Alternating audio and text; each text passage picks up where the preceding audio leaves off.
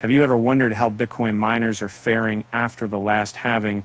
Well, it turns out that some miners are considering strategic alternatives, such as asset sales, to maximize shareholder value.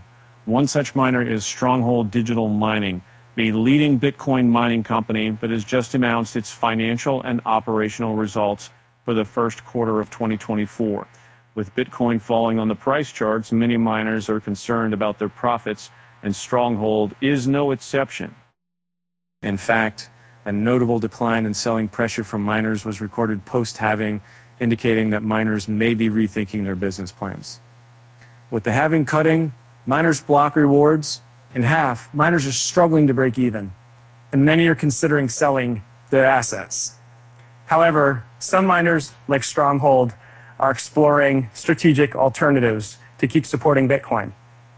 Uh, Stronghold Digital Mining announced that it is considering a wide range of alternatives to maximize shareholder value, including the sale of all or part of the company or another strategic transaction involving some or all of the assets of the company. This announcement has drawn a lot of attention, especially considering the potential implications of miner capitulation following the Bitcoin halving event. Uh, and it's worth noting that mining rewards are slashed after each halving event, which could have played a role in influencing Stronghold's strategic decisions. Uh, Bitcoin miners are currently underpaid with daily revenues at their lowest level since late 2022, uh, and the miner profit slash loss sustainability reached its lowest point since June 2021. Uh, and despite this, there is hope for the future of Bitcoin mining. While it's tough right now, the halving may lead to miners becoming more efficient and stronger as major players like Stronghold explore strategic alternatives.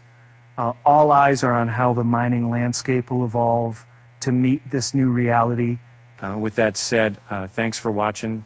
And until next time, remember that every Bitcoin transaction is recorded on a public ledger, making it traceable and secure. So uh, always be mindful of your transactions and keep your private keys safe. And you have to find an application based on private key and Prospere